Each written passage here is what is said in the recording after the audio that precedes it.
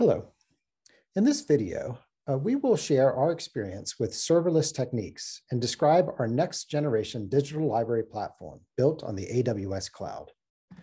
My name is Bill Ingram. I'm Assistant Dean and Director of IT for University Libraries at Virginia Tech. I will be joined in this presentation by Yinlin Chen, Digital Library Architect. After a brief introduction, Yinlin will discuss the technical details of the new digital library platform. We will begin by describing the challenges and technical barriers of building digital library applications.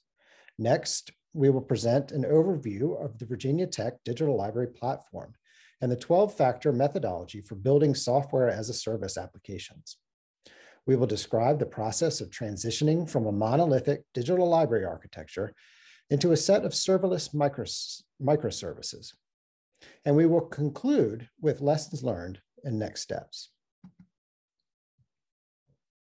Online access to digital research and educational materials have become increasingly important, and the ongoing impact of COVID-19 has reinforced and accelerated the library's investments in digital resources. Before transitioning to the serverless architecture, the library maintained multiple repository and digital library applications. But the cost of maintaining multiple full stack applications was becoming overwhelming each system has its particular quirks, and, the, and it's been difficult to find developers and systems administrators with deep knowledge of these niche systems. Our new system architecture alleviates many of these challenges. And with that, I'm going to turn it over to Yinlin to describe the new digital library platform in detail. Thanks, Bill. So Digital library platform con contains a lot of uh, service, and for each service is composed of microservice and management service. So in here, each, each service focus on one job and do one job well. And our website built on top of each service and to support different needs. So this is a very, a very complicated cloud platforms. So how, how do we build this? We use a 12-factor methodologies. 12 factors provide 12 best practices to enable us to build scalable, maintainable, cloud-based service. And this methodology is being adopted by many companies, such as Amazon, Google, Microsoft. So we apply these best practices to implement our service. So it, it will require a huge amount of time. But actually, we don't need to build everything by ourselves because we use the cloud. So many things in here already provided by the cloud providers. So we use these services, we build on top of these services in order to make our service more scalable in the cloud. So in the library settings, we our team is about five people. So we build our service on top of the AWS service, which is implemented by thousands of engineers. They create these ecosystems and they do it very well. And they handle many of the things we don't want to do, like they set up all the hardware, they handle all the securities, they handle all the networking infrastructures, which we just use that we don't need to build everything by ourselves. We build our service on top this service. So we can provide a stronger cloud service as before if we build in local. Also, we follow this principle to build our serverless applications. So we autom automate, automate every microservice and uh, is triggered by event. automatically. Also, every single service have their single purpose and do it very well. And we only use the resource we need. Also, because we built on top of many services provided by the providers, so we have a more powerful front end, direct interact with backend service. So we can provide rich and uh, powerful front end and increase our user experience on top of this. Also, we use the log tools, monitor tools provided by the cloud providers, which can monitor our application's behavior to help us more understand our applications, and then we can trigger all the issues and make our application more better. In the past, we use the three layers architectures. So everything is in one stack. You make a change, you need to re redeploy the whole entire applications. For the small site, it could be okay. But when our business become more complicated, this three-layer architecture is not enough for us to build our library service. So we transfer from the three-layer architecture into the serverless architectures. So after we transfer to the serverless architectures, we are not only provide one user face, user interface, we provide multiple micro front end, multiple user interface, and also API interface. And under the user interface, there are a lot of microservices connect, commun communicate with backend management service. And each service do one job and do that job very well. So we can create different combination of the service pipelines to serve different kind of the business logic and to support multiple combination of business need. And not only uh, the service we use in the business logic, we can choose purpose-built database. So each database good at one thing. For example, tra traditional relational database we use as to uh, do the transactional data. And uh, we can use the key value database, or we can use document database. And we can also use elastic search. So based on a different business need, we can pick and choose and combine different services, communicate with different microservices, and provide the service we want to the user. So, and in the before a site, maybe just using one stack of software and the build that. So now we only need to focus on to make our digital library platform stronger, can solve, continue add new features, new functionality into these platforms. And uh, to one body can support multiple sites and uh, each site can have their own user base, own purpose, own purpose, and provide their service to the user. We still use our multiple development environment. So each site we will have a dev site, a test site, and a production site.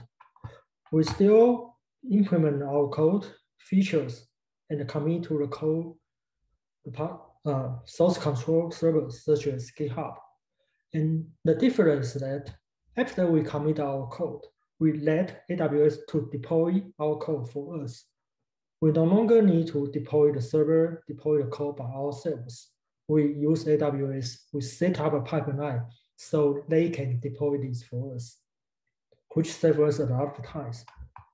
Also, in the past, a site at least needs three servers, right? three environment. So three site, you need at least nine. 10 site, you need 30 at least. And also, sometimes one test server is not enough. You maybe need multiple test site. Also, you maybe need multiple dev site. We have this issue in the past.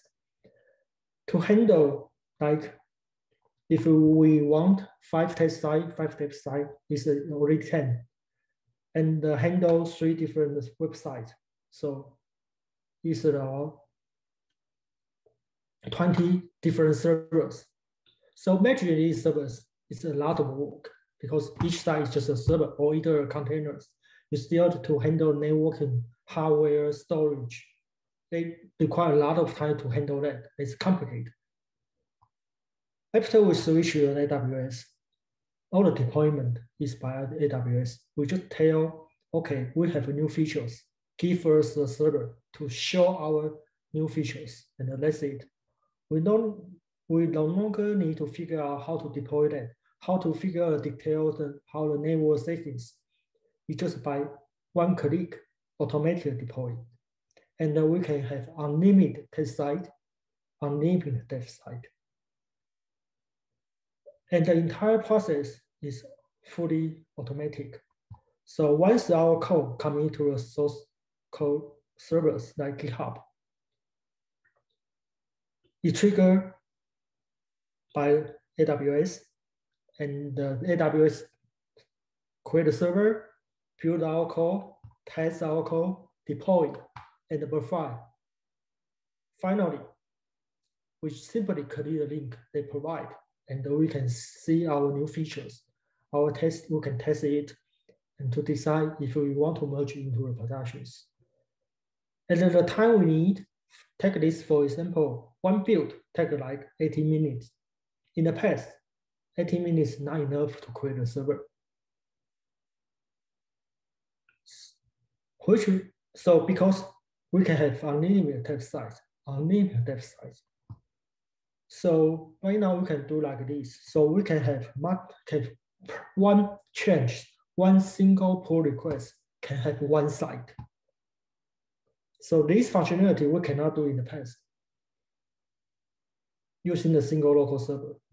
So take this for example, we can have four pull requests and four test site at the same time using the AWS. So it's totally different compared to before, and the, which increase our product productivity of the software development very quickly. So in the past, we allocate the resource. So no matter how the traffic is, uh, is heavy or is light, we always require resource. And you can see the blue, blue color in here is just waste because we already a fixed resource. But after we switch to the microservice serverless architectures, we can more control the resource we use. So some we still uh, learn, this is still a learning process because uh, all the microservice can be tuned and uh, we need to do some tests, but we can more control and more confidence to control this resource we use in the cloud. And uh, when we use more, more efficient on the resource, we pay less. This is how the cloud service, you pay less. You, you only pay your use, right? So as long as we can use the electric resource we need, we pay less for our usage. Also, after we deployment our website into the AWS, the performance is increased because we utilize the, the edge computing of uh, the AWS. So our sites not only like support in Virginia, uh, everywhere around the globe can have a similar response time of our website. Also, besides compare the performance of website, there are many things we cannot do in the past, but we can do it now on AWS. This is an example. In the past, we need to acquire local server or create multiple server in the AWS in order to process a large amount of the image. After we deploy our code into a serverless architectures. So in here, we use the same code base, use the same programs. The difference that we package our program into a microservice and the trigger the backend AWS service. So AWS will create multiple batch jobs. Inside each batch job is a Docker, Docker containers to run one set of image. Once we set it up, we no longer need to consider or how much server we need. We just let that to decide by AWS. We define how much resource need for each jobs and uh, let AWS to handle all the service creation, all the container, all the step. We let AWS to do that for us. So in the past, we need to spend months to handle the image data set we have. After we transfer into a serverless architecture, we just finish in two days. And we can finish more collections and also in two days.